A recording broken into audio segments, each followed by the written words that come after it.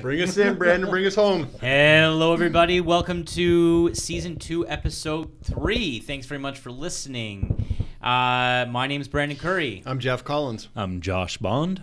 And Trevor Lindy. who is busy away editing and doing stuff with um, computers. we have So no if idea that's the only time you you hear him today, then that's It's- that's it. that's he's, it. he's He's- super busy. because we're now on. We'll make him ask the first five questions. I'll on have to come to your so- defense. He's extremely busy with tech and video and Hey, audio. I'm literally like Twisting you know, here I'll put the camera on me for a second, like editing as we record. We've got the sound going Yeah. on, all We the just call him cameras sound being engineers. switched. Us three guys talking professional Three guys and a sound engineer, Trevor Lindy.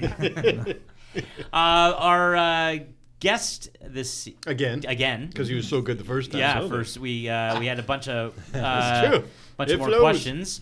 Uh, hello, Dave Nash How from are you, Brandon? Jack Nash. Good to see. Um, thanks for staying over, and because I know you're a very busy guy, you got a you got a retail store you got to run. Yeah. Um, so we, we just had a bunch of more questions that we wanted to uh, get into. Uh, so the first one, maybe I'm thinking this is going to be the quicker one Okay. because I think the, the the next one's a fully loaded one. So the the misconception in the retail industry of sales. So I'll give you the example. You give me a call. This is part of your good service because you email or call, typically call or text me, Right. and you're like, because you know my size, and you're like, hey Brandon, just an FYI, we were seeing this before. We all get those emails. Um, hey, I'm having out a clearance sale because it's the old uh, season. I'm bringing in spring and summer, and it's uh, de- this specific the, the brand that I wear is Seven Downie, and uh, they want to um, do what is it? Buy one get fifty percent off. Buy two get sixty percent off. Buy three get seventy percent off. So I walked in, my kinda bought numbers. three. And uh, I ended up paying for one normally marked up shirt, right after tax, uh, Or less. Or less. I got three shirts after tax for less. Then you tell people about it, and of course, a whole bunch of people come in. So the first comment was from my business partners, like, oh, I feel bad when I buy it on sale. I'm like, don't feel bad. That's what Nash wants. He wants people to come in. Right. That's the whole purpose. Right. But two, some cynics who know a cynic who knows the price of everything and the value of nothing Right. will say, well, that just goes to show you the kind of margin they Or have. really, really more to the point, know the price of nothing and the value they maybe know, but they don't really know the price. Because they because the layman assumes that you're you're making money on everything. Right.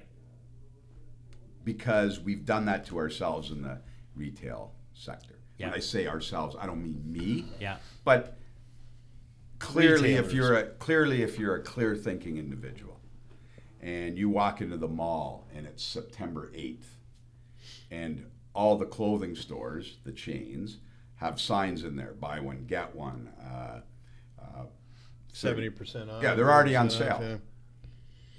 Yeah. you know that you, it, it's the way retailing is today. That's the way. I always think that's the that's the the lazy way of retailing. You hang a sales sign out, and you hope people come in and they they're they're they think they're buying new fall goods at a discounted price. You haven't even started the season. Well, it doesn't take a genius to figure out how am I going to survive if I do that all the time. I mean, if if I just get the goods in and already I'm forty percent off or half price, how how can I make money unless I'm not telling you the truth on what the price is? Right. So- So then, how does a small retailer like yourself, who's been around for 73 years, Right. obviously you've got more, you've got a ton of experience, a lot more experience um, than a lot, but how do you do that? What's the methodology? Do you do you bank in? Do you go see your bean counter and sit there and go, well, this inventory that's been sitting here for eight months, six months. It's already cost me X sitting on the shelf and taking Mm-hmm. Right. up space. Right. Therefore, I factor that in. What do you do? Okay, so I mean, in my case, and it's funny you asked this because yesterday I had this conversation with a supplier and my father. The three of us were talking. And he made the comment that when he goes around to stores and he was showing me new fall product for next year. Mm-hmm. Okay. You're already buying for fall, Done. and we're recording now March 2019. Yeah, no, so fall's done. But You've he- already purchased for fall 2019. you- correct. Okay. So he made the comment, "Oh, you're nice and clean." So that comment means your inventory, your store looks good. You have a little bit of fall stuff left, but your your store is mostly spring goods. I said, "Well, you know how hard I work at making it like that." because in the old days, in my father's early era, whatever was left in fall went downstairs, and whatever was left from last spring you brought back up, and then you continued to buy, and that's what you sold. I quickly understood that that you can't afford to do that because first of all, the public spoke clearly. Um, if they didn't buy it last fall, They didn't like it. what would make you think it got any better looking in six months or eight months? Just the price would make it better looking. Well, I mean, but if you just think you're going to put it away and put it back out, Sure. people aren't stupid. Discount it at the time.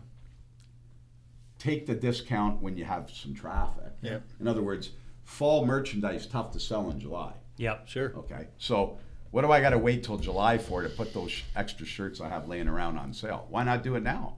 Guy might be interested in buying it now. Mm-hmm. Whose cell's going on? Oh, That's that's hilarious. our guest, so we can't say anything. There. That's Sorry. so funny. No, we don't care. That's great. That's So hilarious. to, to me, I thought I turned it off. I think of Lowe's, for example. Like I go there a lot when I'm buying product for, for building, and all the outdoor furniture from last year is now back out. What they didn't sell at the end of last season, and they got a So- introductory discount to kind of move it out a little bit. So bit. more to Brandon's point. So the idea for me is, I had my chance. I sold what I could sell. Time to now give customers a deal. And there's no secret at at the example you just set at 50, 60, and 70. There is no money being made. There's money being lost. But I hope when I make my guesses on inventory and, and choices that I make more good guesses than bad guesses. Because you know it's a crapshoot. I'm doing it I'm doing it eight, nine months ahead of time. So mm-hmm. If I had 500 shirts sitting there on that selection, you could safe to say it's like, ooh, Dave's, uh, yeah, not, not. It's hitting hitting the well, pocketbook. Well, and, and, and is the theory, and maybe because I'm not in retail, but is the theory, hey, you know what? Give people that buy with you throughout the year a, a sale every now and then. Listen, I'm ha- the reason you get a call from me, Right. And we spread it around to the group is that if anyone's going to buy them, listen, I want to sell them. Yeah, you I don't want to sell them, but I'd love the guys who support me to get a crack at that first. Yeah. Because you got you are the guys who support me. I want you to get the deal. I want you to go. Oh, you know what? I don't mind paying regular price for some stuff because I know there's always going to be some gems in here for me, and that's and it helps me clean it up quick, and I move on, move on to the next season, because this this uh, supplier told me clearly, he goes, Dave, you wouldn't believe the amount of retailers that have inventory that's 10, 12 years old.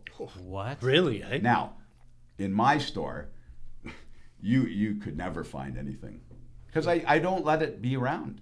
I I mean, if I have to take 75 off of it to get rid of it, I'm moving it because I want to stay as fresh as I can. You know, I can't sell to the walls. There's never going to be a, a time you come in and go, "Wow, he's got no inventory," He's got- because I have to keep it Yeah, full, right? Yeah. But I mean, you got to keep you got to keep moving. You got to keep going. so current. eh? the, uh, I guess in general, maybe don't talk specifically about your store, but I, Right. kn- I know when we talk about restaurants, would you leave the bloody? You keep playing with the camera. It's because my phone comes in. Okay, yeah. So if a phone calls comes Sorry, in, guys, we're then it takes out the picture. Oh, okay, all right, fine. It does. Old married yes. couple So over I, there. I'm trying. You too. Stop, Always Stop play it. with everything. Now you're making it worse. So anyway, Drawing attention to it. Yeah. So That's anyway, okay. Nothing wrong with uh, that. we um, the, we know that the average restaurateur, uh, if you're making eight points, Right, you're doing well. right. You're doing well. So um, not so much the big boxes, but a store like yourself, and, and when you, I'm sure you're part of associations and stuff like that. What are those stats?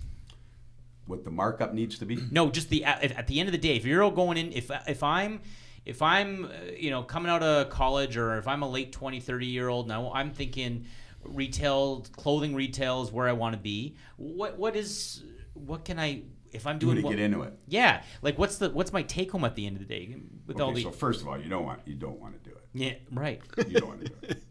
So listen, I mean, it's why it's why I'm going to be the end of the road for for a three generation business because my kids are going to do are doing some other things because they understand they see and it's it's not a bad thing it's just it, it's not the it's not the business model today it's not the business model it's long hours it's it's listen, I mean, it, it, it, I'm not saying you can't have a living. I, of course, I've had a living doing it, but it's it's a tougher living retail because it's inventory. It's a grind, right? Okay, it's inventory. Mm. So it's buying ahead of time, paying for it way before you sell it, and then hoping you sell it. I mean, that's simplified as simple as I can make it, right? Right. So the the business model of a restaurant isn't load up my freezers with food and hope I get customers.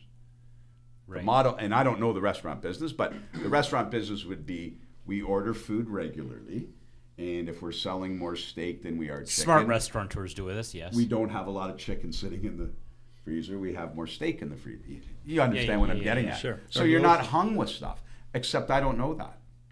So I'm buying, thinking, You're clothes speculating. basically. yeah. Basically. Now, it's changed a bit because a lot of my suppliers, like Seven Downie, have stock on hand all the time. So it takes a little, so I give them upfront orders, but then I buy way less than my needs are going to be projected so I can go back into the market and keep buying mm-hmm. or not buy. Meaning things are slow and I don't need to buy anymore. I, Yeah. I'm good Yeah. Less risk. less risk. So I mean, it, it isn't the best model. That's why there isn't. Listen, St. Catharines only has a few menswear stores. Yep. It's not a secret why. Because who wants to do it? Right. You need a lot of money up front. I mean, I walked into a business that was existing. Sure.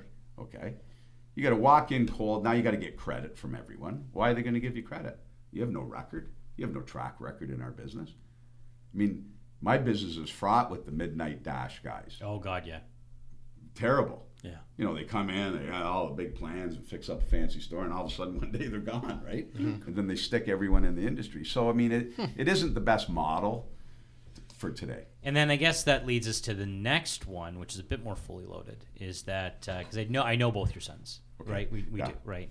Uh, succession, like, are you are they truly not going to, uh, you know, maybe take a millennial view on your model and maybe mil- millennial it up, or uh, you know, Well, I would go to the online?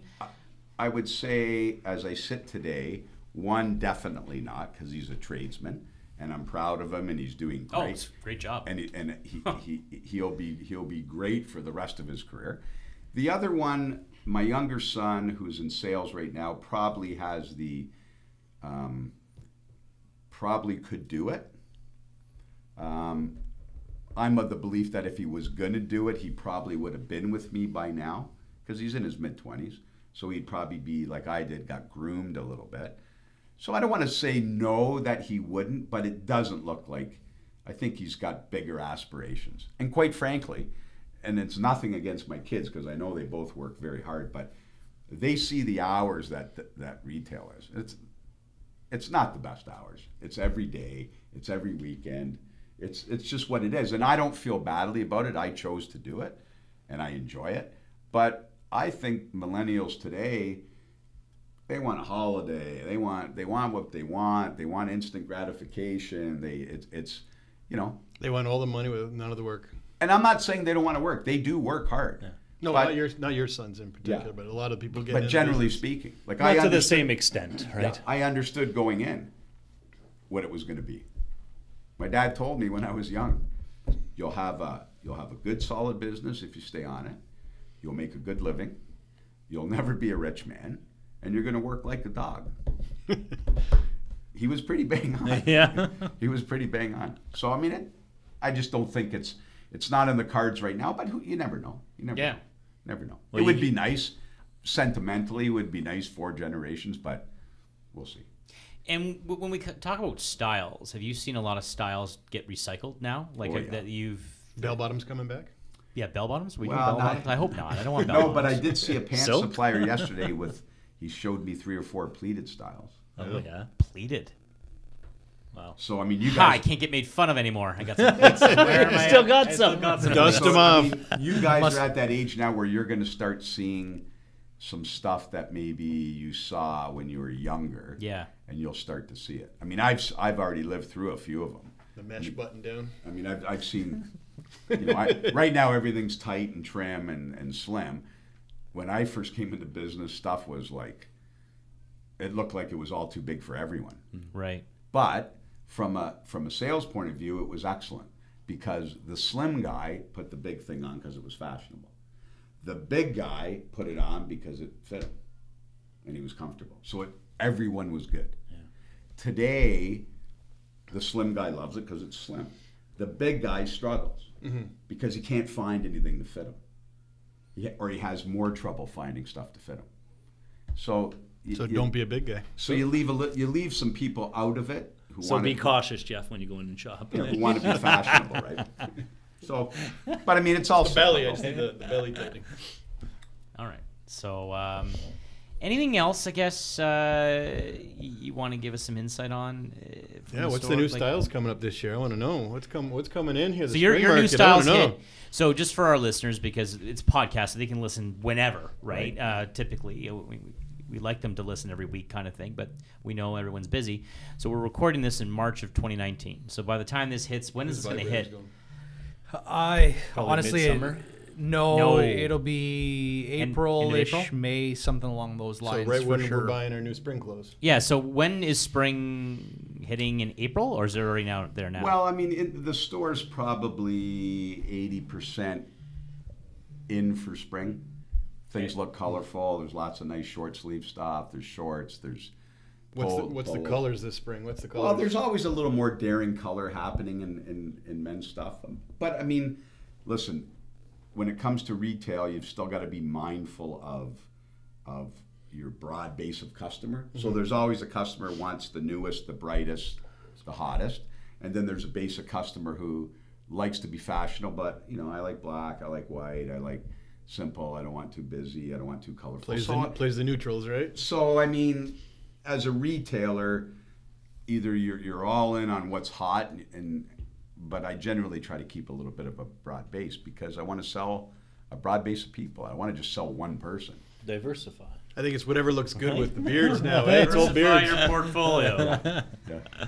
Well, thank you so much for coming in and My taking pleasure, time out guys. of your day. We really appreciate it. Uh, if you can let us know what your Twitter handle and all that Oh, is, sure. we'll make sure that you As soon as he tag. Yeah, I got it marked As down. yeah, yeah. As soon as but- I know, I'll let you know. yeah. and then we'll uh, definitely uh, promote you on the uh, World Wide Web social media. Yeah. Perfect. Thanks, guys. I Thank- appreciate it. That was awesome. Nice meeting Yeah, you. Thank you very much. Help us help you stay informed. Woo. Take care. Bye. Out. Ciao.